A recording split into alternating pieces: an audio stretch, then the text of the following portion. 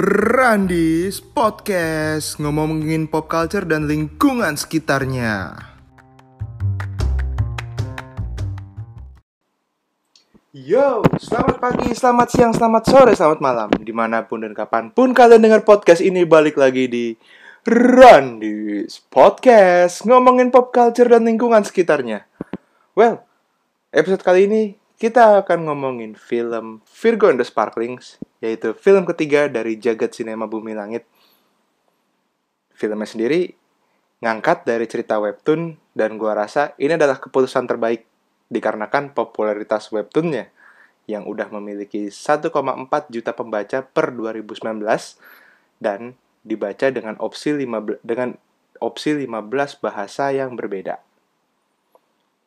Dan kalau ngambil dari OG-nya mungkin orang akan susah kali ya relate. Dan ini sekalian sih jadi kayak Virgo and the Sparkling ini akan menjadi pembuka untuk proyek film Patrio Taruna filmnya sendiri ngerasa lebih ceria, terasa lebih ceria, berwarna dan penuh semangat anak muda karena memang karakter pahlawan di film di kom, di webtoon di film di webtoonnya Virgo and the Sparkling adalah siswa SMA untuk versi filmnya. Oke. Sedikit perubahan karena kalau di webtoonnya sendiri adalah anak kuliahan. Dan untuk jagat sinema Bumi Langit dibikin anak SMA karena disesuaikan sama pasar penonton in general. Jadi orang gampang relate gitu yang belum tahu webtoonnya ketika habis nonton filmnya bisa jadi mereka akan baca webtoonnya. Proyek filmnya sendiri digarap oleh sutradara Odi C. Arahap atau Bang Ocai dan dibintangi oleh sederetan aktor dan aktris muda seperti Adisti Zara, Satin Zaneta, Asira Zamita, Rebecca Klopper, Brian Domani, dan Mawar Eva Dejong. Dan selain itu masih banyak lagi, men. Kalau disebut semua, ini akan cukup banyak. Aristi Zara didapuk menjadi pemeran utama di film Virgo and the Sparklings. Ia akan berperan sebagai Riani dan juga Virgo yang punya kekuatan api yang bisa mengeluarkan api dari telapak tangannya. Gak cuman itu, Virgo juga memiliki kemampuan sinestesia, yaitu mampu melihat warna suara. Sisi yang paling menarik di film Virgo and the Sparkling, yang filmnya mulai tayang 2 Maret 2023, jadi masih tayang ya di bioskop, adalah konflik keluarga yang dialami oleh para karakter. Ini buat gue cukup menarik dan relate dengan masyarakat di Indonesia sih ya di fil sepanjang film jalan kita juga kita akan menemukan banyak konflik antar anak dan orang tua. Hal ini sangat relate karena remaja itu bisa dibilang lagi di fase-fase rebelnya, di mana ada beberapa hal yang orang tua belum tentu ngerti akan kemauan anak dan kekhawatiran dari orang tua yang terjadi jika si anak mengambil jalan tersebut. Akan terjadi kekhawatiran ketika si anak memutuskan suatu tindakan gitu ya wajar kok. Pasti orang tua khawatir gitu. Tapi justru yang kekhawatiran itu menjadi perdebatan.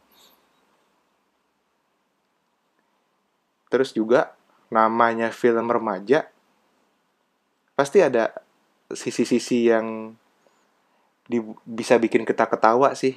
Karena kayak ya tingkah ceroboh remaja terus banyolan-banyolan yang ada di film ini nggak ketinggalan juga ada sisi romantis yang disuguhkan. Meskipun cuman sedikit bukan cuman sedikit sih mungkin akan keberlanjutan jika sequelnya ada gitu loh akan dikembangkan balik lagi kalau dari sisi actionnya gitu loh ini sih agak berbeda dengan Gundala dan Sri Asih ya packaging penceritanya juga akan juga berbeda Virgonda Sparkling dari segi dari segi actionnya pun nggak yang dar dur atau banyakkan koreo laga kayak film-film Gundala kayak film Gundala Mas Sri Asi ya. Di sini kita cuma lihat di sini kita melihat aksi Riani terbang, melompat dan mengeluarkan api. Buat gua ini fine-fine aja karena sosok Riani ini kan anak muda yang tentunya nggak belum banyak memiliki kelihayan untuk bela diri kayak superhero pada umumnya. Kalau dibandingkan sama musuhnya pun musuhnya lebih OP daripada Riani. Riani cuma bisa mengeluarkan api dan tangannya dari tangannya dan nggak punya kemampuan untuk bela diri jarak dekat gitu loh karena berbeda dengan sang musuh yang bisa mengendalikan pikiran dan lain-lain. Tapi di sisi lain dari segi lagunya pun juga soundtrack gue juga gue sangat seneng banget di film Virgo and the Sparkling sini ya. Karena salah satu treatment ceritanya adalah ya kan Riani dan teman-temannya bikin band nih. Dan pasti yang didukung adalah soundtrack ya. Nah soundtrack versi filmnya ini cukup asik banget dan terngiang-yang di kepala setelah gue nonton filmnya. Jadi kayak lagu Sahabat Angin, Bersorai, dan lagu Lawasnya Melly Guslow dan pot dan sama bandnya dulu Potret yang judulnya Salah itu cukup populer dan di, di aransemen ulang sama mereka. Hasilnya tuh nggak ngebosenin sampai terngiang-ngiang di kepala gue gue curiga ini kayaknya musik produsernya bekas JKT48 nggak sih? Apa gimana ya? Kok lagu-lagu bisa dibuat sefun itu? Uh, karena gue juga karena gue juga mantan wota kali ya jadi kayak kok mirip-mirip tapi kok kayak vibe-nya ceria. Memang itu yang ingin dibawakan di filmnya kan ya. Karena soundtrack kan juga cukup penting dalam elemen film dari ceritanya juga dibuat ringan. Dan pokoknya ini film jagat sinema bumi langit yang cukup entertaining sih menurut gue dan fokus gitu loh memperkenalkan Riani dan teman-temannya. Kita pun juga jadi dibuat peduli nggak cuma sama Riani doang tapi sama teman-temannya. Ada Monik ada Usi ada Sasmi. Terus even sampai musuhnya gitu loh si Carmen yang diperanin nama Mawar Eva Dejong dan grupnya Scorpion Sister. Jadi kayak si antagonis ini kita juga kayak oh ya ada ben memang beralasan dia bisa jadi seperti itu gitu loh. Dan nggak lupa film ini juga berhasil memperkenalkan Riani untuk dari cerita maupun musik ya. Dan nggak lupa juga mempengaruhi kemunculan beberapa orang. Nah, di menit-menit akhir itu kalian akan dikejutkan dengan kemunculan beberapa orang yang sudah nongol di jagat sinema Bumi Langit untuk continuity bagi seluruh keseluruhan jagat sinema Bumi Langit. Buat gue pribadi, film ini sesuai dengan apa yang ingin disampaikan oleh Bang Ocai dan Bang Jokan bahwa film ini adalah super fun hero.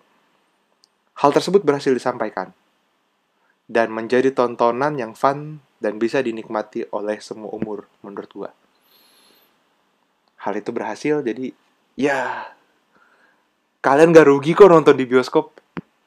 Jadi ramaikan bioskop gitu. Dan filmnya ini aman untuk semua umur. Karena dari segi cerita, visual effect, soundtrack dan acting para castnya ini menjadi menjadi satu kesatuan deh kayak kerja keras mereka tuh terbayar lah dengan hasil film yang sangat oke okay banget. Dan juga untuk keberlangsungan jagat sinema bumi langit. Kalau dari gua sih mumpung masih ada di bioskop segerakan nonton di bioskop. Karena cinematic experience saya juga cukup oke okay sih. Apalagi kalau kalian singelong dengan soundtracknya soundtracknya juga of album soundtracknya tuh udah ada di Spotify ya. Jadi kayak yang belum nonton jadi penasaran yang sudah nonton malah jadi pengen ngulang-ngulang terus men. Ini asli serius. Jadi segera ramaikan bioskop. Gua sih gua rasa sih itu dulu di episode podcast kali ini. Jangan lupa kritik dan sarannya. Dan